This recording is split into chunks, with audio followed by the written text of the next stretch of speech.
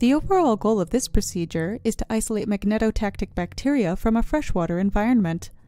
This is accomplished by first collecting water sediment samples from the edge of a river or lake. The second step is to isolate magnetotactic bacteria contained within the environmental sample using a bar magnet. Next, the magnetotactic bacteria are enriched using a glass capillary racetrack and magnet. Finally, the magnetotactic bacteria are characterized using optical microscopy. Ultimately, transmission electron microscopy is used to show the size and shape of the bacteria and their magnetite-containing magnetosomes.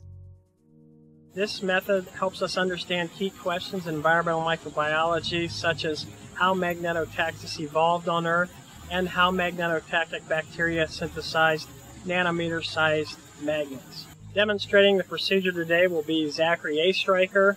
Zachery is a PhD candidate in my laboratory. He works with my brother and myself here at Ohio State University.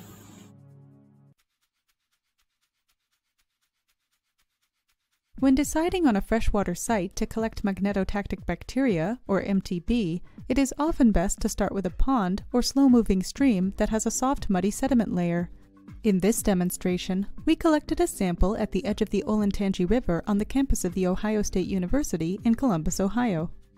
Find a location where the depth of the water is between 10 and 100 centimeters, and using a clear screw-top container, half fill the container with the uppermost layer of sediment and the remaining space with water, capping the container underwater.